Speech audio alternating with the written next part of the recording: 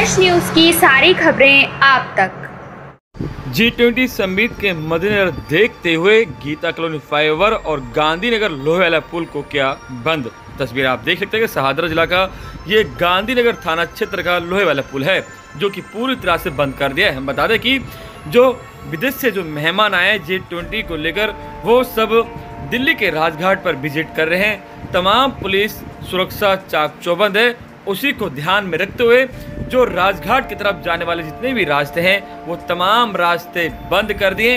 ये जब तक रास्ते बंद होंगे, जब तक जो मेहमान जो विज़िट कर रहे हैं राजघाट, जब तक राजघाट से वापस नहीं चले जाते प्रगति मैदान, तब तक ये पूरे रास्ते बंद किए गए हैं। जो नई दिल्ली की तरफ़ जाने वाला रास्ता था, जो गीता कॉलोनी फ्लाईओवर से जाता था, वहाँ भी पूरी तरह से बंद कर दिया गया देख सकते हैं कि बरसात के अंदर भी पुलिस की चप्पे चप्पे पर पैनी नज़र है।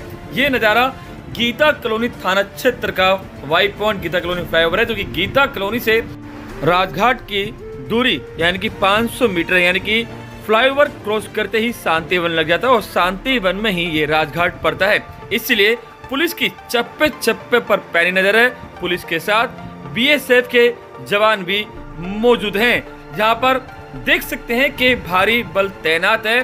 सभी पुलिसकर्मी बरसात के अंदर भी सिक्योरिटी पर अपनी ड्यूटी पर पहुँचे हुए हैं और जगह जगह पर नज़र बनाए हुए हैं। जो भी संदिग्ध वाहन दिखाई देता है तो उसे रोककर पूछताछ करते हैं।